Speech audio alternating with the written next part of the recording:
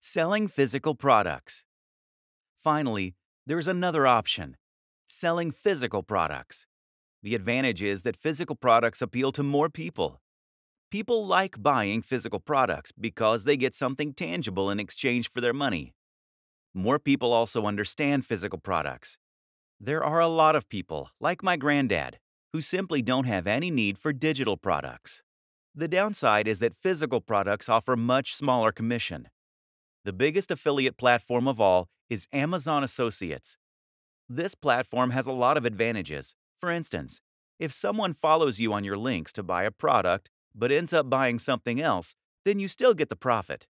Amazon Associates also provides a lot of useful buttons and tools you can use to make sales. But on the downside, Amazon Associates only offers somewhere in the region of 1 to 6% for their products. Most are at the lower end of that spectrum. Amazon also won't pay you in foreign currency unless it's by check. Don't even bother and it's been well known to simply change its affiliate policies overnight with no warning. Is there money to be made here? Absolutely. Especially if you are selling products that are very expensive, like computers, fitness equipment, or similar. But in order to get to this point, you really need to have a website that is attracting hundreds of thousands of views per day. This is the only way to build the kind of success that you need in order to make it big. Countless other options.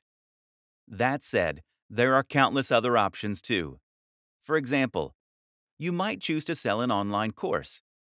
These are excellent affiliate schemes that offer a lower percentage than most digital products, but will have better terms than Amazon. You can even find sites that will allow you to sell MBAs.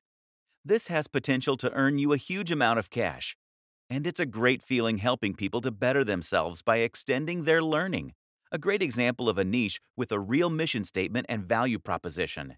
Remember, too, that you can always try contacting manufacturers and brands personally in order to discuss potential schemes.